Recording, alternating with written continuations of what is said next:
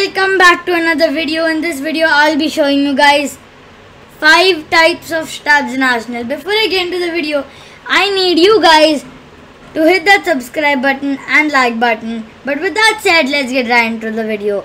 So the first type is the normal front stab, where you hit a player three three times in the front and he dies basically.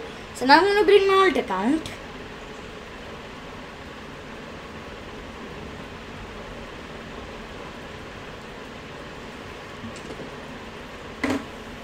The next type is the backstab, where you go behind a player and do that. And the next type is the head backstab.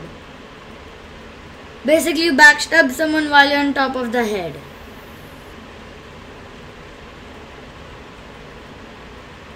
Okay, yeah.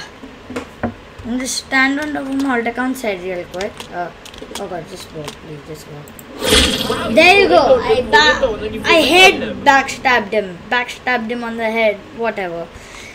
The next type is the crouch stab. The crouch backstab. I think I should say.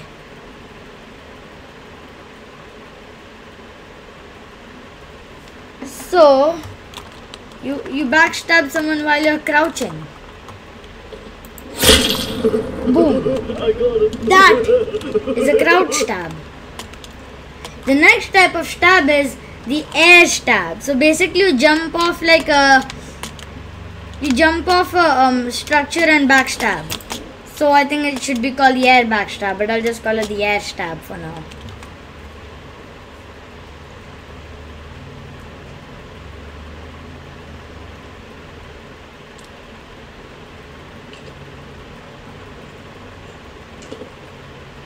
Okay, so I'm gonna put my alt account to a good enough distance.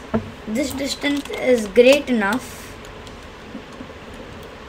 And time to we. Trick shot. I don't think that was a stab. I think that was more of a trick shot to me. But anyways, I hope you guys enjoyed the video. I'll see you in the next video. Until then, peace out. Have a nice day. Bye.